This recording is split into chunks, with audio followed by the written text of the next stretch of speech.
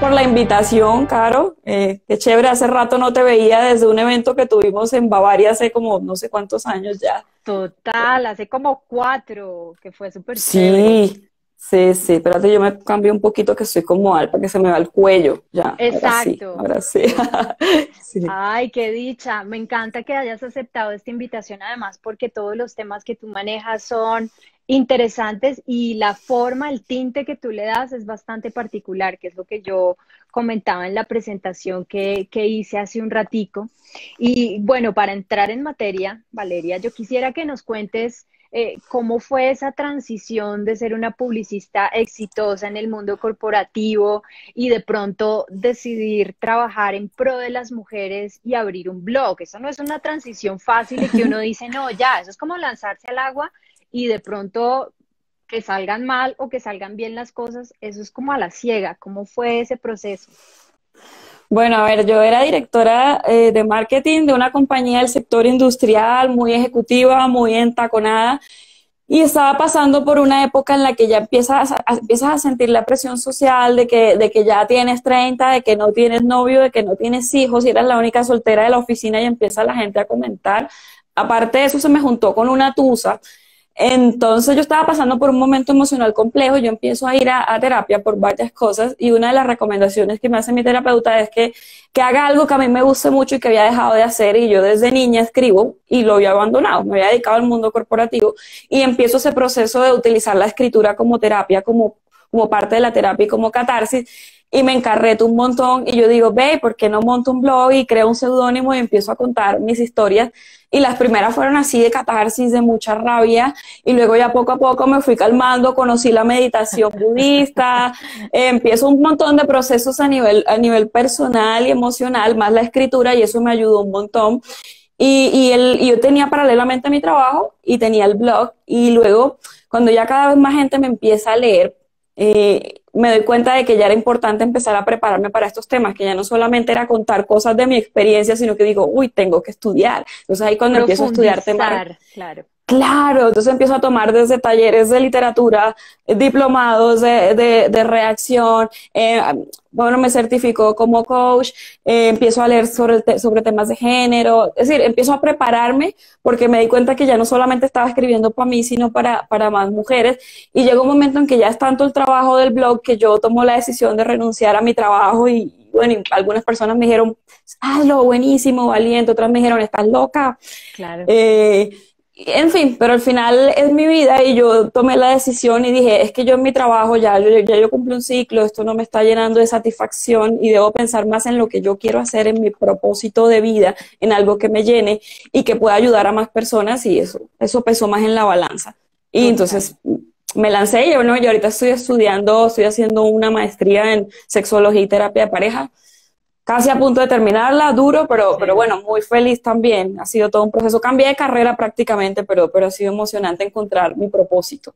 Bueno, y, y es muy coherente con lo que tú dices finalmente, porque tú abogas por el empoderamiento y por hacer lo que te hace feliz. O sea, tú dices, hay que hacer lo que a uno lo hace feliz, pues lo estás haciendo, que, coherente eres con lo que dices y, aplicas en la vida.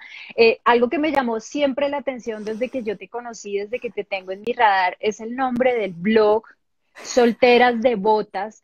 ¿Por qué? ¿Por qué solteras? O sea, yo quiero saber la historia de este título.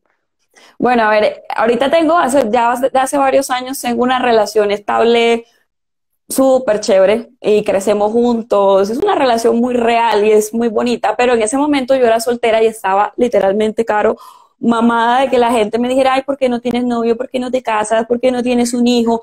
Y también, y también como sintiendo esa presión de que si, si la, la, mujer sola, como si la mujer sola no valiera y necesitara tener o un marido o un hijo para poder ser alguien, como si las mujeres solo fuéramos cuidadoras o dadoras y que una mujer sola no valiera. Entonces, eso fue como una forma de reafirmar.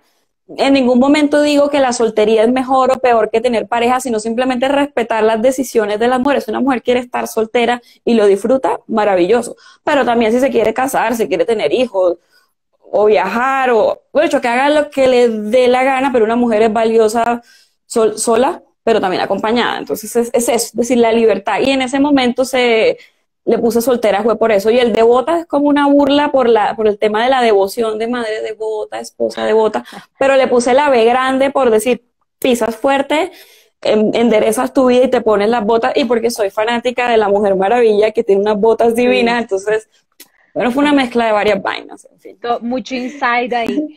Bueno, sí, sí. ¿por qué será que cada vez hay más mujeres solteras? ¿Qué tendrá que ver? ¿Que hay menos hombres o que es una decisión propia y eso de vestir santos y solteronas está mandada a recoger?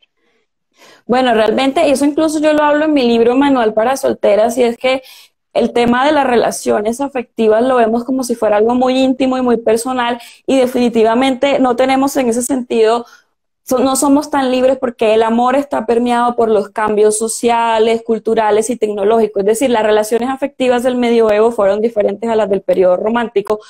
Y lo mismo las de los años 60 y lo mismo las de ahora y en 50 años van a ser diferentes. Entonces, en este momento está primando la individualidad, es decir, las personas están enfocándose más en viajar, en tener una carrera y en trabajar trabajarse a nivel personal. Incluso las estadísticas de, de, los matrimonios han, han, descendido y están primando otras formas de relacionarse, desde las amistades con derechos, desde el poliamor, el polisexo. Hay otros tipos de relaciones que también ya empezaron a, a, a moverse en este tema y eso hace que las condiciones cambien y porque realmente eh, en yo siempre pongo el ejemplo de las abuelas y de las mujeres de generaciones anteriores. Decían, ay, es que los matrimonios de antes duraban tanto.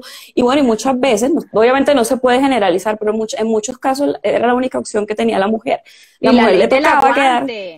Claro, aguantarse, aguantarse al marido toda la vida y como las mujeres en ese tiempo no trabajaban, entonces les tocaba quedarse porque el hombre era el proveedor. Entonces, desde que empezaron a existir los divorcios, desde que las mujeres empiezan a, ir a las fábricas a trabajar, las mujeres ya empiezan a generar ingresos, empiezan las primeras solteras, las primeras divorciadas, porque ya las mujeres empiezan a tener más posibilidades en el espectro. Entonces muchas cosas han cambiado y eso ha hecho que las mujeres seamos también cada vez más independientes, sin negar de que cada vez tener una relación formal con otra persona es más complejo, porque somos más complejos ahora en muchos factores que nos afectan que antes no afectaban.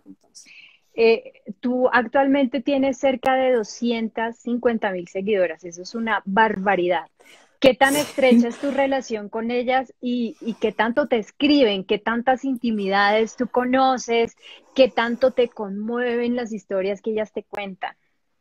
Pues ha sido un proceso muy bonito y, bueno, y ahorita con el tema de la cuarentena han aumentado más los mensajes. Desafortunadamente no puedo contestarlos a veces todos y tan rápido, pero me escriben cosas claramente como hablo de temas relacionados con lo afectivo y con lo sexual, entonces me, me cuentan cosas muy, muy íntimas, desde cómo superar una tusa o, o desde que están pasando determinadas situaciones en una relación o que están teniendo problemas en el sexo o mujeres que han sido maltratadas por sus parejas, es decir, recibo una cantidad de historias bellísimas, otras muy dolorosas, entonces siempre eso me genera bastante trabajo, pero me tomo el trabajo de contestar, me demoro un poco, pero, pero trato de contestar a casi todas las que escriben. Claro, yo creo que eso también es lindo, tanto para ti como la persona, ¿no? Saber que alguien a quien tú admiras, a quien sigues, se toma el trabajo de leerte y de, y de, de responder desde su visión, porque finalmente tú has ganado un lugar eh, dentro de, esta comunidad como una mujer que sabe el tema que maneja. Entonces, qué, qué lindo que, que, le correspondas ese, ese cariño a las, a las seguidoras.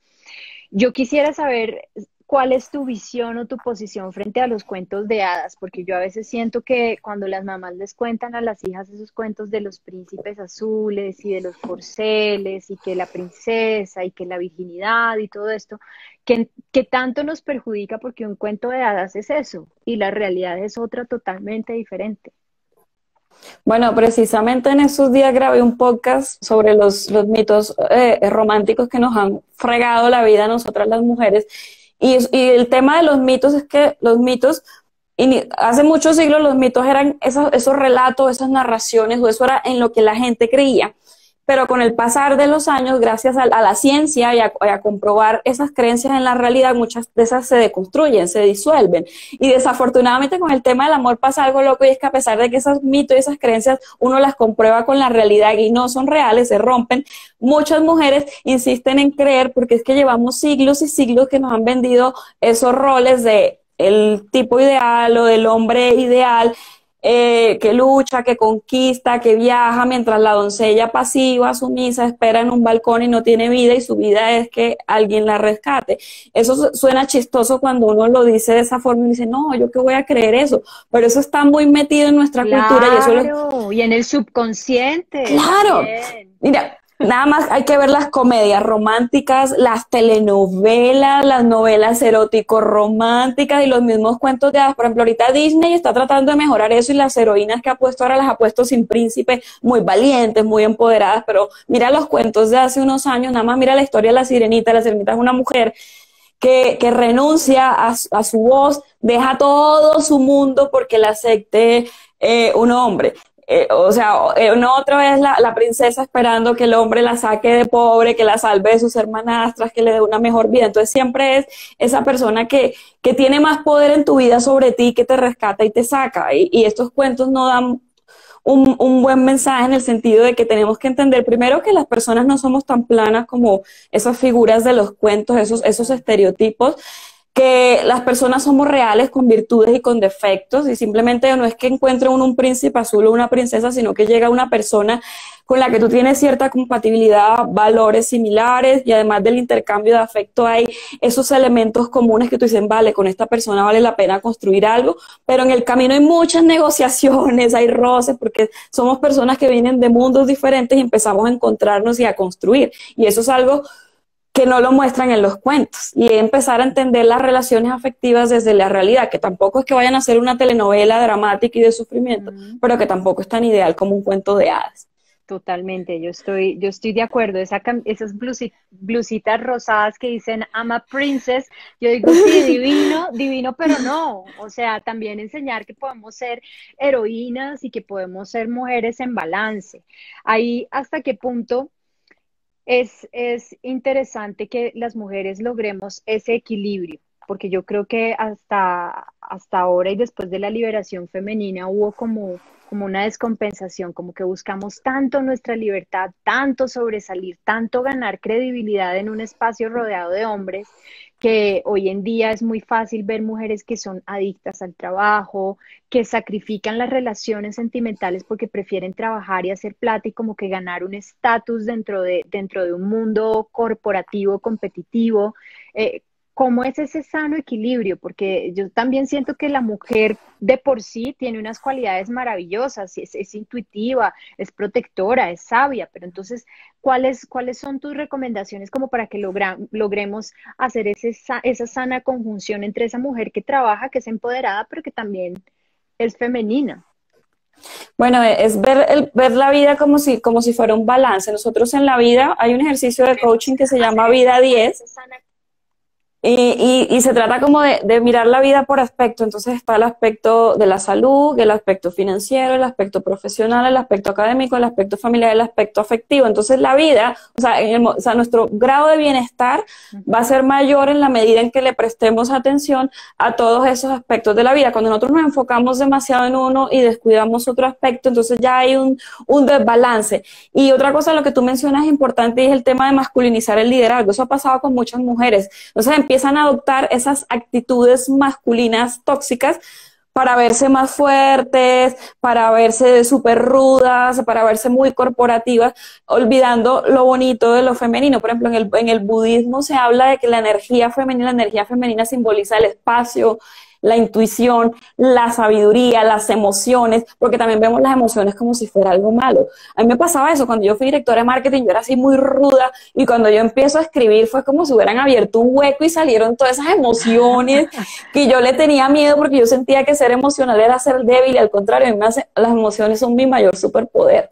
Entonces, entender de que tenemos que aceptar todas esas cualidades femeninas como, como algo muy poderoso también. Es decir, dejar de ver lo masculino como fuerte y lo femenino como débil, sino que cada, cada lado tiene, cada energía más bien tiene, tiene su poder y simplemente dejar de separar y vernos como, como un ser integral y que la felicidad se alcanza en la medida en que también tengamos un balance entre la vida profesional y la vida privada, porque la autoestima también quiere decir, en vez de decir yo debo, yo tengo, sino también trabajar el yo merezco, yo merezco darme bienestar, yo merezco darme felicidad, yo merezco darme placer. Entonces, como yo merezco todo eso, yo saco Así, así como tengo también propósitos para alcanzar, para ser la mejor en mi trabajo o para lograr un cuerpo de infarto, también yo tengo que darme esos espacios para meditar o para hacer yoga o para simplemente disfrutar, para pasar tiempo con mi familia, para, para darme, para abrirme a una relación o para abrirme al placer. Eso hace parte de, merecer, de merecer, de que no todo en la vida debe ser sacrificio. También hay que abrirse al placer y al bienestar y es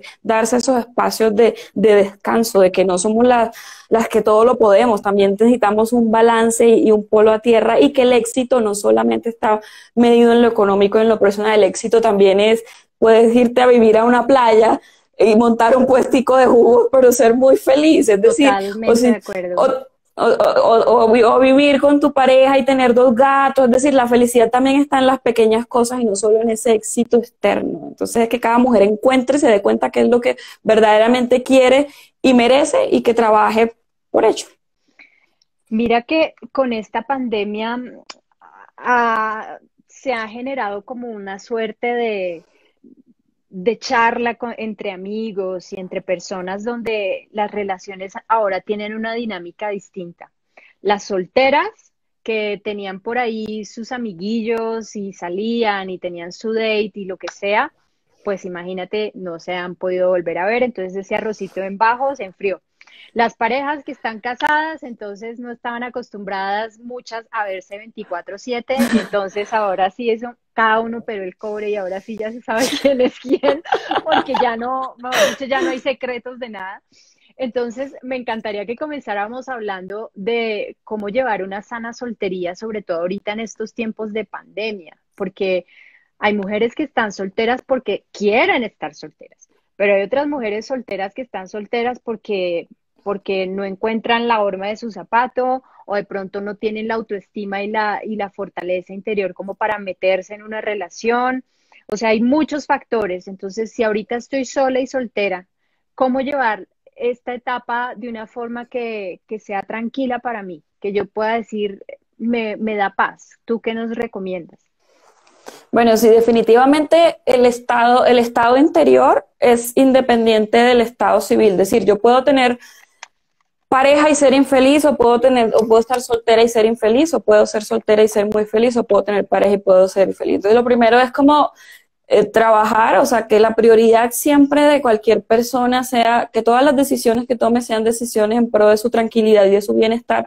Y lo demás, cualquier cosa externa que venga, eh, va a influir mucho menos porque tú vas a tener como esa base y como ese estado de tranquilidad. En el caso ahorita que cuentas todo el tema de las dinámicas de, pareja y de soltería, preciso en estos días hablamos, en otro live que hice, se hablaba de este tema y es que muchas personas solteras están con muchos deseos de ver a otros seres humanos y les hace falta tener ese, ese contacto. Entonces la manera de relacionarnos ha cambiado por el tema del COVID. Ahorita, por ejemplo, las apps de citas ha crecido, ha crecido muchísimo, muchísimo todo este tema porque la gente está con, ganas de, tener contacto humano, así sea un encuentro fugaz, cosa que es un poco peligrosa en estos momentos Pero por, por, el los contagio. Los fugaces los están haciendo, o sea, físicamente o, o, se queda en un encuentro virtual de que nos conocemos, nos tiramos los perros aquí por, por, por celular y lo que sea, o, o se están concretando citas a ciegas o citas clandestinas, ah, clandestinas. Eso está pasando mucho y eso es bastante peligroso porque obviamente nosotros no sabemos en dónde ha estado la otra persona y, y es un riesgo por todo el tema de, de la pandemia. Pero, y también porque mucha gente se ha conectado se ha conectado, se está conectando más a estas apps para conocer personas. Otra cosa que está pasando es que ahorita en el tema de la soltería, si lo vemos en el plano erótico, ha aumentado mucho el tema de la, de la masturbación, es decir, es una forma de, estar con uno mismo, de desahogo, de disfrutar. Eh, porque la, sí, porque, porque tenemos el arrocito en bajo lejos o porque estábamos definitivamente solteras. Incluso hay un juguete que yo descubrí en estos días que se llama Click Click, claro, que es un juguete a distancia. Es decir, tu pareja se compra uno y tú te compras otro y usted se programa como con una app y tú sientes las vibraciones de la otra persona como si estuvieras con otra persona y, y es una cosa súper divertida. o algo así, o sea, es como, sí, sí, claro. por aplicación y tal. Es por aplicación, es como si fuera, se llama Click Click con K. Eh, eh, y entonces es muy interesante porque la tecnología está ayudando para que las personas se conecten, está aumentando mucho el sexting. Ahí, siempre recomiendo que tengan mucho cuidado, que no muestren la cara o que si tienen algún tatuaje, alguna marca que la gente te vaya a reconocer, no la muestres, que no se vean como objetos de tu casa. Es decir, tener mucho cuidado. O sea, definitivamente la sexualidad y, la manera de relacionarnos va a seguir ahí. Lo que pasa es que se, se cambia de acuerdo a las circunstancias. Y con el tema específico de las parejas, está pasando algo y es que si la pareja ya venía teniendo problemas antes, simplemente en estos momentos el problema se exacerba porque pasa algo y en estos momentos todas las personas tenemos, o la mayoría de las personas tenemos los niveles de cortisol muy altos, estamos el instinto de, de, conservación y de supervivencia prima, entonces muchas personas se mantienen así por miedo a perder sus trabajos, por el estrés o por estar todo el día encerrados, o el hecho de tú todo el día ver a tu pareja en pijama, desarreglado en sudadera, eso también ayuda a que baje un poquito el deseo. Es decir, hay muchos factores que están influyendo y están cambiando la forma de relacionarnos, pero en la medida en que seamos conscientes, podemos mejorar, mejorar la situación, tanto en la comunicación con la pareja o si estás soltera, aceptar la situación, empezar a aprovechar ese momento para disfrutar más de ti misma, para conocerte en muchos aspectos y también en el erótico, es decir, uno tratar de aceptar la situación actual y adaptarse y buscar nuevas formas. Eso es súper importante, la capacidad de adaptación y resiliencia. Hagamos un paréntesis en el tema de autoerotismo, porque yo considero que la tradición judeocristiana, casi todos aquí en Colombia hemos sido católicos, apostólicos y romanos, eh, el autoerotismo no está bien visto. O sea, de por sí ya la palabra la gente como que se horroriza. Eh, ¿cómo, ¿Cómo derrumbar un poquito esos tabúes que hay alrededor del autoconocimiento? Es una forma de conocerse, de explorarse y de darse placer. Y yo creo que en estos momentos de pandemia es, una, es un es un momento ideal para hacerlo. ¿Cuántas mujeres ni siquiera se conocen su cuerpo? Entonces, me gustaría que tú nos des algunas recomendaciones como para romper ese miedo al autoconocimiento, a tocarnos, a sentirnos, a, darnos placer y cariño nosotras mismas, porque eso no tiene nada de malo ni de antinatural. Hay una frase que a mí me encanta y dice, en la antigüedad la masturbación era considerada una enfermedad y en el siglo XXI es considerada una cura. Y es, y es una cosa muy tenaz porque, claro, eh, siempre todas las cosas que tengan que ver con uno mismo es raro. Yo, yo dicto en los talleres, cuando yo los dicto, les digo a las chicas, bueno, ahora abrácense a ustedes mismas, felicítense a ustedes mismas y todas son como, qué raro, y yo, ¿por qué me voy a abrazar y por qué me voy a fletar? Pero es rarísimo, pero tú le dices, oye, abraza a tu amigo, abraza a tu mamá, abraza a alguien. O sea, uno es más fácil abrazar a alguien, es decir, es más fácil darle eso a otra persona que, que, que a ti mismo. O, por ejemplo, te pongo otro ejercicio.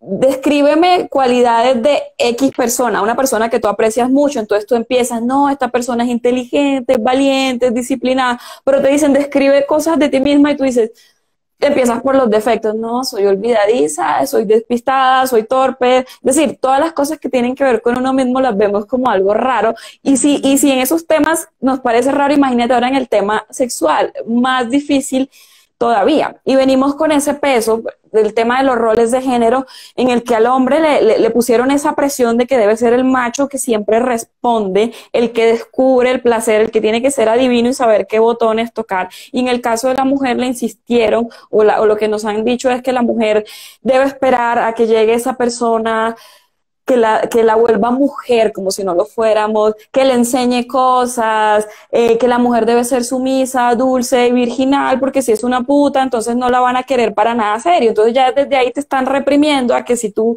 hablas de sexo, que si muestras deseo, entonces no eres una, una, una buena mujer, que debe ser una mujer que no sabe de esos temas. Y eso lo que hizo fue fregarnos la vida, porque el autoconocimiento es primordial. Nosotros, ¿cómo vamos a disfrutar del sexo en pareja si nosotros no sabemos que nos gustan, ni que, o sea, no tenemos claro cuál es nuestro mapa erótico, cuáles son las fantasías que nos mueven, cuáles son las zonas de nuestro cuerpo que más responden a la estimulación. Entonces eso es primordial. O sea, nosotros no podemos llegar a ningún lugar en la vida si nosotras no nos conocemos. Esto aplica para todos los aspectos de nuestra vida y mucho más en el aspecto erótico. Tú eh, tienes un taller que se llama Sexpodérate. ¿Ahí hablas de autoerotismo? Totalmente, totalmente. Y es una de las cosas que más hablo. Y, y si bien el sexo, bueno, aquí también en mi libro también tengo un capítulo un capítulo que se llama Sexpodérate, y en ese libro eh, y en el taller hablo del tema de la, de la autoestimulación, porque si bien el sexo hay que desgenitalizarlo, porque el sexo empieza en el cerebro, el cerebro es nuestro mayor órgano sexual, y luego le sigue la piel por toda esa cantidad de terminaciones nerviosas.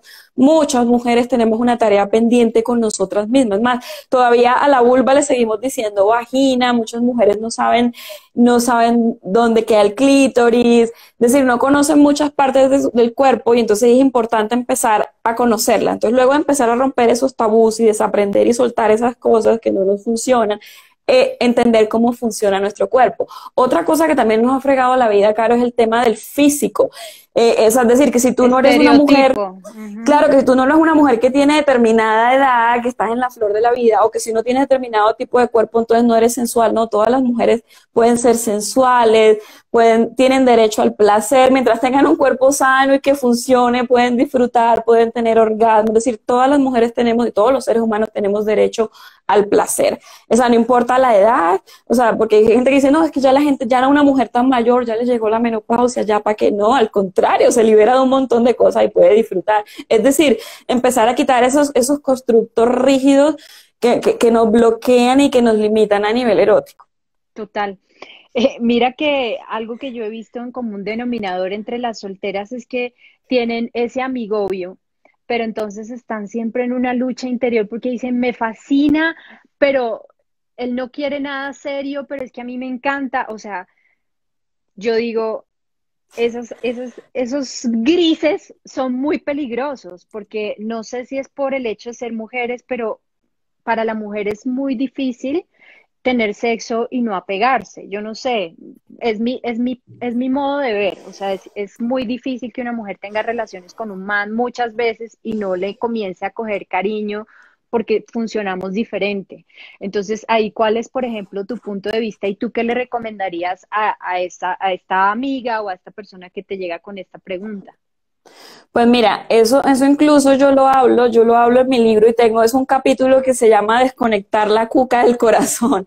Y hay una frase de una autora que se llama Chimamanda Noshi Adishi, que me encanta, y ella dice, como soy mujer, se esperan que yo quiera casarme, se esperan que en todas las decisiones de mi vida siempre tenga en mente que el matrimonio es lo más importante. El matrimonio puede ser fuente de alegría, amor y de apoyo mutuo, pero ¿por qué se le enseña a las chicas y no se le enseña lo mismo a los chicos? Entonces, eso también tiene que ver con algo cultural, es decir, a las mujeres desde tiempos ancestrales nos han enseñado a que el aspecto más importante de nuestra vida es el amor, es decir, en casarnos, en encontrar el príncipe azul. Entonces siempre hemos idealizado ese, estado. No quiere decir que todo, ya eso está cambiando, pero, pero eso se mantiene, es como un remanente que nos queda ahí del pasado. Cambia, los hombres siempre han podido ver a la mujer desde muchos aspectos. Eh, en cambio, nosotros siempre los hemos idealizado y eso es muy difícil quitar, lo que no quiere decir que no podamos ver simplemente a una pareja para tener sexo, pero venimos con ese remanente cultural de que se nos enseñó la importancia de lo afectivo y a los hombres se le, se le enfocó la importancia de lo genital. Entonces es una cosa que hay que empezar a entender que se puede separar lo afectivo de lo genital. Y aquí yo el consejo que siempre le doy a, a, las chicas mm, y es que tengan muy claro lo que quieren. Es decir, tú no, si tú quieres una relación de amigos con derecho, tenla, disfruta, gózatela, pero no tengas una relación de amigos con derecho esperando que esa relación cambie o mute a algo formal porque las probabilidades estadísticamente son muy pocas. Es decir, sal con alguien que quiera que, ustedes quieran más o menos lo mismo. Si quieren algo informal, maravilloso, pero no que tú quieras algo informal y esa persona no lo quiera, porque al final esa persona no va a cambiar y vas a sufrir un montón pensando que con que a punta de sexo y de momentos placenteros vaya a cambiar la, la, la la forma de la relación. Y eso es bien importante tenerlo, tenerlo súper claro. ¿Cómo reavivar, Valeria, la llama del amor en una pareja que ha estado encerrada durante cuarentena y que de verdad es, es complejo? En un matrimonio normal hay dinámicas y, y, el deseo puede subir y puede bajar y cambia el amor y la forma como se ve la pareja. Pero ahorita en cuarentena es un desafío mantener esa chispa, porque es que uno se ve todo el día. Antes podía que esperara unas 8 o 10 horas, salías, estabas distrayéndote con otras personas, con, con amigos de trabajo, lo que sea, pero ahorita te ves con tu pareja mucho tiempo. ¿Cómo despertar de nuevo esa chispa, esa gana, ese deseo? Bueno, hay varias formas. La sexualidad, como dije antes, no solo está conectada con lo, con lo genital, sino que la sexualidad también es mental y está conectada también a nuestra fisiología. Es decir, en la medida en que tú tengas unos hábitos saludables de vida, vas a tener energía para el sexo. Si tienes una vida sedentaria o te alimentas mal, o estás pasando por una situación de estrés muy grande, tu cuerpo va a estar activado en estado de alerta, es decir, prima tu instinto de supervivencia y lo sexual y el deseo quedan en un segundo plano porque si estoy pensando en cómo voy a pagar la arriendo, me voy a quedar sin trabajo, me está entrando menos plata, o tengo a los niños en casa, estoy cuidándolos, estoy muy cansado. Entonces, hay muchos factores que están afectando y se ha visto algunos casos, varios casos de deseo sexual hipoactivo, que es cuando baja la, la libido. Entonces, ahí lo que primero es que, ambas personas o las personas, porque hay relaciones de más de dos personas, eh, tengan, tengan esas ganas de mejorar la vida sexual y aumentar la frecuencia de los encuentros. Entonces, hay muchos ejercicios, hay muchos ejercicios desde primero empezar a hablar normalmente de sexo, es decir, tomarse una copa de vino y empezar a hablar con la pareja de cosas que los calienten. ¿Te acuerdas cuando hacíamos tal cosa? ¿O cómo te gustaría hacerlo? ¿O cuál es tu fantasía? Empezar a hablar, sacar espacios y poner a la sexualidad en un lugar importante, así como cuando uno habla de lo que hizo durante el día, también hay que empezar a hablar, hablar de sexo.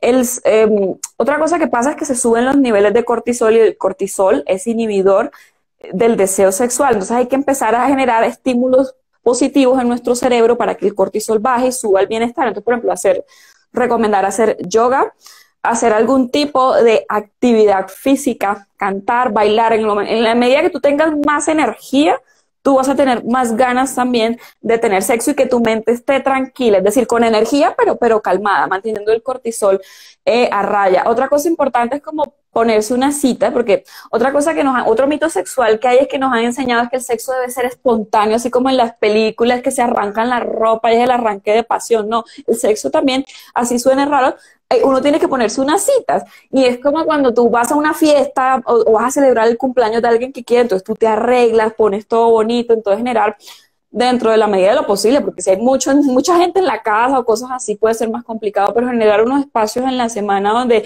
se arreglen bien bonitos, se echen perfume que huelan rico y dejar de genitalizar el sexo, porque muchas veces hay gente que le da pereza tener sexo ya con la pareja porque no, tengo que llegar al orgasmo y eso genera ansiedad, genera estrés, empezar a disfrutar todas las fases de la respuesta sexual, el deseo, la excitación, entonces a, bailar, acariciarse, darse besos sin que haya la presión de que tenga que haber coito, es decir, puede haber una masturbación mutua, masajes, pues empezar a hacer o disfrazarse o ver una película erótica, y no necesariamente tiene que haber penetración y que no haya presión, si se da maravilloso y si no, porque la sexualidad no es solo genital, la sexualidad incluye un montón de cosas que uno puede hacer con la pareja y que pueden ser muy, muy eróticas. O sea, hasta un cierto punto entonces tú propones como ritualizar, o sea, buscar el momento propicio y generar una atmósfera que invite a, sea a través de una conversación, sea a través del, del, cuerpo, de la danza, de tocarse, de, de ser un poco más sensuales que sexuales en sí. Y yo creo que eso también es importante para las mujeres. A nosotros no nos gusta todo al, directo al grano, sino que es bonito también ese preámbulo y esa búsqueda. Hasta qué punto la mujer puede, puede guiar al hombre en ese sentido, porque hay hombres que es, que es como al grano. ¿Cómo puede una mujer decirlo sutilmente? Porque hay hombres también que se cortan cuando una mujer sugiere cosas. ¿Cuál es la forma inteligente para sugerir lo que te gustaría a ti sexualmente? ¿Cómo, cómo sugerirlo a tu pareja? Eh, de una forma inteligente para que no se ofenda. Claro, no, y aquí, bueno, es importante si hay chicos escuchando el, el, el, el live, entender que las mujeres y los hombres funcionamos, funcionamos diferente. Existen las fases de la respuesta sexual y todo comienza con el deseo, luego pasa la excitación, luego la meseta, el orgasmo, la resolución y la satisfacción. Entonces, en el caso del deseo y la excitación, mientras los hombres son más rápidos, las mujeres somos más lentas. Por eso, los juegos previos, lo que yo llamo los aperitivos eróticos antes del plato fuerte, son bien, bien importantes. Entonces ahí, ahí es súper, súper interesante, por ejemplo, cuando uno tomarse una copita de vino, no embriagarse, pero sí tomarse un traguito, escuchar música y decirle uno a la pareja, ay, mi amor, mira, tú no sabes lo que a mí me encantaría que tú me hicieras ay, mira, me duele tanto el cuello, ¿por qué no me haces un masaje? Ay, mi amor, a mí me encantaría que tú me bailaras. O sabes qué, en estos días vi una película y a una chica le hicieron esto y yo me imaginaba que tú me lo hacías y tú no sabes cómo me puse. ¿Será que tú lo haces? Pero así como volverlo muy pícaro y no decirle como tienes, tienes, tienes que hacer, sino que me encantaría que lo hiciera, sería maravilloso. Y también uno preguntarle a la pareja, ¿qué te encantaría que quisiéramos, que podemos planear? Eso, eso es empezar a trabajar, o sea, la sexualidad está muy conectada a la comunicación. Muchas veces los problemas de sábana no son, como te digo, genitales, sino que son de cosas que se pueden solucionar hablando con la pareja. Totalmente. Y ahora hace poquito leía yo en un, no sé si fue, me imagino que fue en, en, una página de internet, que ahora los jóvenes tienen una forma distinta de amar, que los adolescentes, por ejemplo, ahora no le copian solo al amor heterosexual, sino que eh, exploran. Y también, entonces, una, una niña puede explorar si le gustan otras niñas, le gustan los hombres, le gusta el poliamor. Eh, actualmente hay tantas versiones, ¿hasta qué punto tú sientes que eso puede ser saludable como en el tema del autoconocimiento y de explorarse?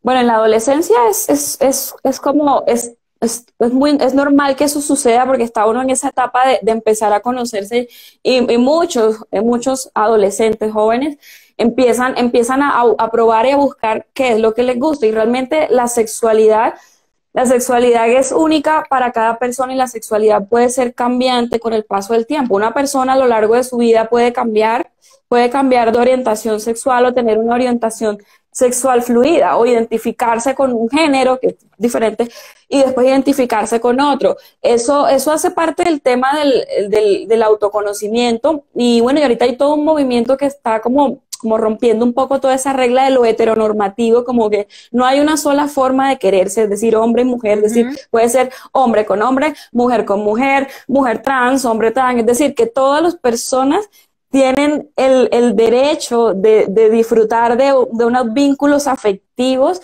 y de disfrutar una vida sexual.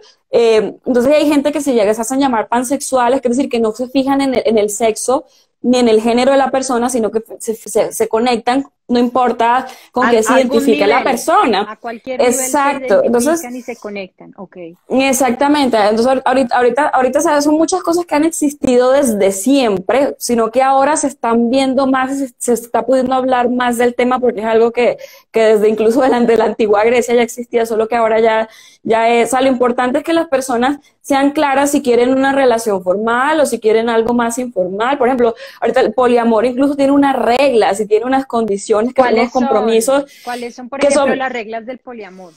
Pues a ver, y mucha gente lo confunde con el turismo emocional, que es diferente. Una cosa que yo siempre le digo es que independiente del tipo de relación romántica o erótica que uno tenga con alguien, debe haber el respeto, no porque, ay, que como esta persona si es para serio, la trato bien y como esta persona es para una noche, la trato mal. No, todas, todas las relaciones, todos somos seres humanos, no podemos usar a las personas, hay que tratarlas con respeto y, y que obviamente los niveles de acuerdo son diferentes, son diferentes en una relación formal, seria, eh, o, o, en otra relación que es informal, pero siempre va a haber algún tipo de compromiso, así sea chiquito, y el respeto es básico en toda la relación. Y con el tema del poliamor, hay varios tipos de poliamor. Por ejemplo, el poliamor se, se encuentra dentro de lo que se llama las relaciones abiertas. Hay un poliamor que es jerárquico, que es, por ejemplo, una pareja, y, y esa pareja tiene tiene, pues sale, sale también con otras personas, pero se mantiene en esa pareja como jerárquica, como que esta es la principal. Hay otro tipo de poliamor, que es un poliamor que, que, ya no es jerárquico, que dice, no, pues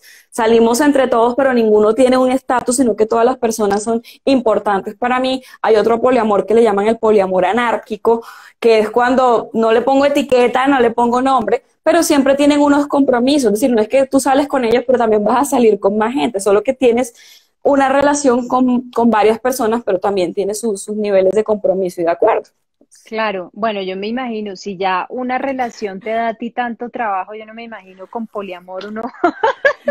sí, hay, es muy loco y hay un sexólogo español, no me acuerdo el nombre de él, pero dijo algo tan divertido, dijo, mira, definitivamente el ser humano biológicamente es, es, es polígamo, puede tener varias parejas, se puede enamorar de varias personas, pero la monogamia es más práctica y es más barata. Es decir, nosotros no somos polígamos porque somos pobres y porque es muy complicado. Si con una persona ya es complicado, imagínate con varias. O si tú, el dinero que tú te gastas arreglándote o saliendo o, comprando regalos para esa persona, imagínate no tener varias. O sea, todo se vuelve un poco más, más complejo, pero obviamente es como que cada persona decida con lo que se sienta más, más cómoda. Entonces, pero bueno, sí.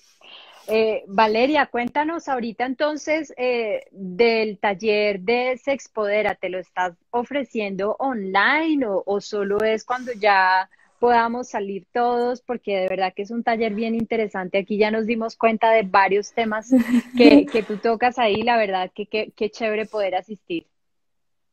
Bueno, a ver, yo te cuento el taller Sexpodérate, yo lo, yo lo daba mucho, me lo pedían mucho para despedidas de solteras o lo que se llaman las Ladies Night, que se juntan chicas y hacen preguntas, y yo resuelvo dudas y también llevo juguetes sexuales y toda la cosa. Eso parece eso es un eso es un succionador de clítoris, es el juguete de moda en estos momentos, es una cosa loca, loca. Eh, entonces también les enseño, en este, este, taller también lo estoy yo Ahorita por el tema de la cuarentena, yo lo que hice fue montar mis talleres en unas versiones más cortas, de hora y media, versión, una versión online. Entonces se reúnen varias chicas, me escriben y hacemos una reunión y entonces resolvemos dudas de sexualidad y al final hay un, hay un topper sex. Entonces les enseño qué es el clítoris, dónde está, para qué sirve, cómo se estimula. Es decir, hablamos de muchas cosas porque es un espacio seguro donde tú puedes preguntar sin ser juzgada, sin que la vida te vaya a decir nada, porque hablar de sexualidad debería ser normal, debería, sí, deberías sentirte tú tranquila, porque es un tema muy importante y que influye en tu bienestar. El hecho de tú tener sexo contigo misma, con otra persona, te genera un montón de dopaminas, de endorfinas, te da mucha, mucha felicidad, y entonces es algo que deberíamos de lo cual deberíamos hablar y deberíamos practicar, obviamente siempre de manera consciente, responsable, pero hay mm. que hablarlo. Totalmente de acuerdo. ¿Y conferencias? Pues sí, he estado, he estado dando, he estado dando conferencias. Yo tengo de varios, de varios, de varios de los temas de mi blog, desde el tema de autoestima, de cómo fortalecer la autoestima. Eh, tengo también un taller que se llama detox emocional, es decir, así como nos tomamos el batido verde para limpiar el cuerpo, hay formas a nivel mental y emocional de limpiarnos para sentirnos más livianas. Tengo el taller de, de Sexpodérate. El de la tusa. Y así.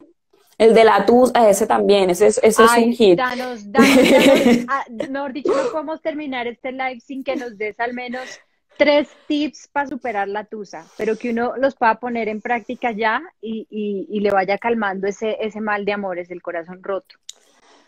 Bueno, eh, eh, clave, clave para la tusa es entender de que las cosas no se dan rápido. Es decir, así como cuando uno se cae y se raspa y le sangra la herida y, tarda un tiempito en, en, secarse, en caerse la costrica y te tienes que echar remedio, eso pasa con nuestras emociones, con nuestro cuerpo cuando pasamos por una tusa. Entonces, hay que experimentar el duelo, hay que experimentar el duelo, hay que dejar salir el dolor, hay que llorar si sentimos rabia, obviamente de todo de una forma controlada y una, una gestión sana, pero hay que sacar eso, no enfocarnos en el trabajo hacer un montón de cosas que son como anestésicos emocionales, pero realmente no estás sanando la situación, es decir, saca lo que, lo que te duele, escríbelo, cuéntale a esas amigas de confianza, eh, llora. Yo siempre recomiendo escribir, escribir te hace ver eso funciona como un cicatrizante emocional y está comprobado por la ciencia porque han hecho estudios de que personas que están llevando terapias y las ponen a escribir sanan más rápido que las personas que simplemente solita la terapia. Entonces escribir es un buen complemento, entonces escribe, luego mira lo que escribiste y luego cuando ya las emociones se calmen un poco más, empieza la fase de aceptación, empieza a aceptar de que ya la relación se acabó, de que ya no convenía, eh, de que ya debes empezar a hacer cambios en tu vida. Y luego entonces pasar a, esa fase de aprendizaje, porque mucha gente se salta esa fase y es importante aprender qué pasó para que tú luego en la siguiente relación no repitas, no salgan esos miedos que no has trabajado en tu siguiente relación, no repitas errores o no elijas el mismo tipo de pareja que de pronto has, has venido eligiendo que te genera tanto sufrimiento. Entonces siempre es importante vivir todas las etapas del duelo, así no nos guste, porque no existe una pastilla para el corazón roto, ni eso lo cubre el post, ni nada de esas vainas. Hay que vivirlo y sentirlo para luego soltarlo. Tú ahí hablabas algo interesante y es que en ninguna parte dijiste un clavo saca otro clavo. Porque yo creo que también ahí es clave aprender a estar solo. Sola, sí, yo creo que a muchas mujeres les da miedo terminar una relación y quedarse solas, cuando también aprender a, disfrutar de sí misma, de su propia compañía y de su espacio y de hacer lo que quieres igual de nutritivo que cuando estabas eh, en pareja. Eso es bien importante lo que tú dices, Caro, y es que cuando uno vive una situación difícil, por lo general la autoestima queda aporreada. Entonces luego cuando ya uno pasa esa fase, esa fase de duelo, que las emociones se calman un poquito más, uno empieza esa tarea de fortalecer el autoestima y cómo la fortalece a través del autoconocimiento, a través de la aceptación de no darse palo por lo que pasó, o sea, porque la, la culpa eh, lastima mucho la autoestima, entender de que las personas cambian, los sentimientos cambian y los ciclos se acaban y eso no quiere decir que tú vales menos o que, o que no eres una buena persona. Entender que para tener una relación de pareja no quiere decir que renuncies a tus cosas, pero si ese fue el caso, que tuviste una relación y renunciaste a, a todas esas cosas de tu vida, volver a retomarlas, volver, preguntarte qué quiero en la vida, cuáles son mis metas, cuáles son mis sueños, darle prioridad a tu bienestar. O sea, el tema de la introspección se hace bien importante porque en la medida que tengamos una mejor autoestima, las tusas se superan mejor. O sea, porque la autoestima está conectada con la inteligencia emocional y con la resiliencia. Esas cosas son súper claves para superar bien una tusa. Sí, ahí tú hablaste de inteligencia emocional y yo creo que en ninguna parte nos enseñan a gestionar las emociones y aprender a leer un poco la gestualidad y la emoción del otro. Nos falta empatía. Entonces yo he notado que muchas personas que están solteras a la hora de, de encontrar una pareja se les dificulta porque no tienen la capacidad de ser empáticos y se cierran. Es como, yo no sé, lo veo mucho, que una persona que ha estado soltera mucho tiempo genera como una coraza para protegerse por si acaso le hacen daño y, esa coraza misma no permite generar un lazo afectivo, una empatía, un abrirse a que la otra persona vea mi verdadero yo, porque les da miedo ser vulnerables. ¿Cuál es ese sano equilibrio entre me muestro como soy, muestro un poquito mi vulnerabilidad como para generar conexión? ¿Eso sí será una movida inteligente o eso será que demuestra que soy débil y de pronto saca espantado a la otra persona?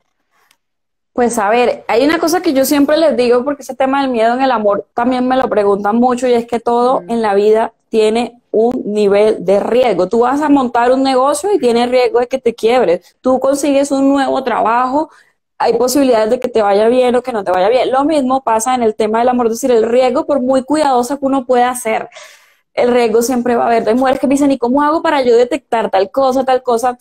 Yo les hablo de un pilar de la autoestima que se llama la autorresponsabilidad. Es decir, yo soy responsable, tú eres responsable de tus emociones, de tus sentimientos y de tus acciones, pero tú no tienes forma de controlar lo que el otro piensa, lo que el otro siente y lo que el otro hace. Lo que sí puedes controlar es que te afecte más o menos lo que las otras personas te hagan y que tanto poder le des. Entonces hay que entender eso de que hay que soltar, de que no podemos controlar todo, de que siempre va a haber un poco de riesgo y el hecho de abrirse a una persona es entender de que uno, en el amor siempre uno va a ser un poco vulnerable. Entonces ahí también tiene que poner en práctica el tema del autocuidado. Es decir, yo que aprendí en mi relación pasada, aprendí esto y esto y esto, y entonces ponerlo en práctica y, empezar a, utilizar la intuición, porque esta persona está haciendo esto, porque dijo esto, entonces analizar un poco más y no abrirse enseguida, pero tampoco dejar que los miedos lo paralicen, porque muchas veces los miedos nos impiden disfrutar de personas maravillosas y son, son lo que yo llamo, o sea, lo que, se, lo que se llama en psicología los miedos neuróticos, es decir, que son, no es como cuando tienes el león o el tigre enfrente que te va a comer, sino que son miedos de cosas que todavía no han pasado, que te estás suponiendo y quizás no son reales. Entonces siempre para vencer el miedo es ir pasito a pasito. Otra cosa clave, Caro, es tener en cuenta el lenguaje corporal, ¿no? De pronto yo puedo decir, ay, yo quiero tener pareja, tengo deseo de tener pareja, pero tú no te das cuenta que tu lenguaje corporal, entonces tú frunces el ceño, cruzas los brazos, eso se llama lenguaje corporal cerrado, te cierras y, entonces no dejas que nadie entre. Entonces, si uno quiere o quieres o ya es consciente de que uno desea buscar pareja, no tiene que mover la energía para eso. Entonces, sonreír más, mantener contacto visual, dejar de fruncir el ceño y el tema de, entender las emociones de los otros parte también de uno mismo. Cuando uno, por lo general, aquellas personas que no saben leer las emociones de los demás es porque tampoco las saben leer en sí mismos, no aceptan sus emociones. En la medida en que uno acepte sus emociones, las entienda, si sean buenas o malas, pero que uno sepa que eso hace parte de uno, las emociones están ahí. O sea, lo que es el miedo, la tristeza, la alegría, la sorpresa, el asco, eh, son emociones que hacen parte de la función adaptativa del ser humano y están ahí. A la medida que nosotros las aceptemos, vamos a aceptar las de los demás y, las y, lo, y vamos a entender. Es decir, no quiere decir que no las expreses, las vas a expresar, pero de manera afectiva, afectiva, ah, asertiva. asertiva. como soy costeña, como soy costeña, se me traba la lengua de un rápido. Entonces, eso, como que tampoco ser la explosión en la emocionalidad, pero tampoco guardarte las cosas. Es decir, no me gusta esto, o si me gusta, o me siento feliz, me siento triste, pero se puede decir de una manera asertiva. Yo propondría en esta época de, encierro un poco, eh, continuando con la línea de lo que tú dices, aprender, aprender a observar nuestra propia, nuestro propio mundo emocional, que si estamos tristes nos permitamos sentir la tristeza plenamente, la alegría plenamente, el asco plenamente, o sea, lograr identificar esas emociones porque eso parte del autoconocimiento y parte de cómo me acepto yo, cómo me enamoro de mí mismo, cómo me, me quiero y me respeto y asimismo le doy cabida a otro para que entre en mi mundo, porque finalmente esa teoría de que busco la media manzana, o sea, uno ya es completo, uno lo que quiere es alguien que lo, que, que lo acompañe, uno no necesita, uno no necesita medias naranjas. O sea, ese, ese cuento es que nos han vendido tanta cosa y tan, tanto rollo que, que, que desdibuja lo que es el verdadero amor qué bonito lo que tú dices de autoconocimiento, eh, reconocerse en sus flaquezas, en sus fortalezas, saber qué queremos. Eh, ¿Qué más eh, era importante dentro de lo que mencionamos para, para, llevar esta soltería en soledad de una manera, de una manera linda? Básicamente eran como esas, ¿verdad, Vale? Sí, disfrutar de la compañía y darse cuenta de encontrar un propósito. En la medida que uno tenga un propósito de vida, que no tiene que ser laboral, puede ser un propósito, un hobby, puede ser algo espiritual, puede ser, en la medida que tengamos un propósito o algo que nos motive levantarnos por la mañana, nuestra vida va a ser tan llena que en el momento en el que nos, nos den ganas de tener pareja, la, la escogencia va a ser desde desde el compañerismo, desde la igualdad, desde la abundancia, sino desde la necesidad y la carencia de que te necesito para que me sanes, te necesito para que me ayudes, te necesito para que me salves. Entonces, cuando una persona tiene una sana autoestima, sus elecciones van a ser un poco más acertadas de una persona que no, que no tiene una, una sana autoestima, porque eso no somos medio naranja, somos una fruta completa. Total. Es decir, súper importante. bueno, mi Valeria linda, muchas gracias, muchas gracias por este, por este live tan divertido y tan, tan interesante. Yo creo que si hay algo que nos enseña mucho acerca de, de quiénes somos son las relaciones. O sea, uno se conoce a uno mismo a través de otro y a través de también estar en, su soledad. Así que qué lindo todo lo que nos compartiste hoy. Ojalá lo dejes guardado para, para que la gente que no lo ha podido ver lo vea. Y, y de nuevo, muchas gracias. Ojalá la gente te pueda seguir eh, en el blog. Yo he visto muchos muchos de los posts que has puesto y los encuentro divertidísimos y súper interesantes. Así que qué lindo todo lo que estás haciendo, pues como para quitar tanta, tanta basura y despejar un camino acerca de lo que el amor es, la realización y la plenitud de las mujeres hoy en día, ¿no? Que está muy lejano de, lo, de las expectativas y de lo que querían los demás para nosotros. Ahora somos nosotras buscando y construyendo nuestra propia realidad desde lo que soñamos, desde acá, desde el alma. Entonces, qué lindo. Gracias por compartirnos todo esto, mi Vale Linda. No, Caro, gracias a ti, que sigas con esa linda labor cuidando nuestro medio ambiente, que también sigas enseñándole yoga a mucha gente, porque el yoga, todas las corrientes orientales son maravillosas porque trabajan todo el tema de manera holística, cuerpo, mente, emociones, habla. Entonces, maravilloso también todo ese trabajo que tú haces. Qué rico habernos encontrado. Qué rico hablar de estos temas y dar estos espacios para que tanto hombres como mujeres o, bueno, del género que sea, decidan elegir esa vida y se pongan las botas y elijan la vida que realmente quieren, la vida que les genera plenitud, eh, y que la felicidad no quiere decir ausencia de tristeza, de miedo, existen todas esas emociones y es bueno dejarlas salir, pero también entender de que detrás de todas esas nubes negras siempre hay un cielo y un sol radiante eh, que nos espera. Entonces, todo lo mejor para ti para todas las personas que se, que se conectaron. Y claro, voy a dejarlo aquí guardado para que las personas que lo quieran ver todas las veces que quieran lo compartan y escuchen este intercambio de, de opiniones tan maravilloso. Y bueno, y la invitación de las mujeres también a expoderarse, por favor. Dense placer, el placer es, es felicidad y es bienestar. Es placer, es bienestar, es juventud, quita el dolor de cabeza, pone la piel divina y además cuando tengas relaciones con tu pareja vas a disfrutarlas el doble porque vas a saber lo que te gusta. Total, a expoderarse. un beso, un beso a todos. Besos, todo lo mejor.